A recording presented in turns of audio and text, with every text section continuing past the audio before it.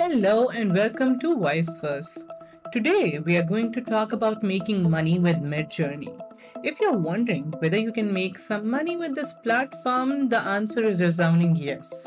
In this video, I am going to share a few quick ways with you on how to make money with Midjourney AI art. Remember, you're not limited to only these ideas. You can think outside the box and come up with your own unique methods. Legal considerations.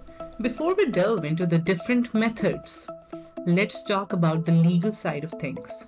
If you log into your Midjourney account and scroll down, you'll see a section on how commercial use works.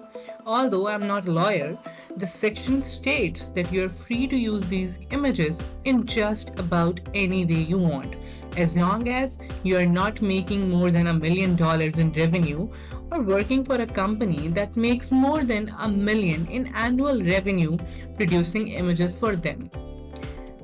In such cases, you'll need to sign up for a corporate plan. Method number one print and sell.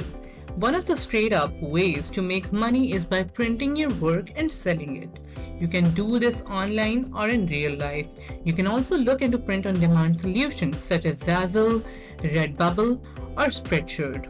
These platforms allow you to upload your artwork and put it on a product. When someone buys it, the company prints it and you get a cut. Method number two create content. You can create content around your Midjourney AI art and make money by relying on AdSense revenue. You can create YouTube videos or switch to a blog where you can showcase your work and add some AdSense ads. This might not make you a lot of money, but it's a great way to make some cash on the side. Method number three use AI art as elements. If you're into design or creating something for people, you can use Midjourney AI art as elements in your work. This way, you're not selling the art directly, but you're using it to create a unique look that sets your work apart. This can help you indirectly in making money by using Midjourney to spruce up your designs. Method number 4. Sell digital art files. You can sell packs of digital art files that include your Midjourney AI art. You can sell them on platforms like Etsy, Creative Market, or DeviantArt.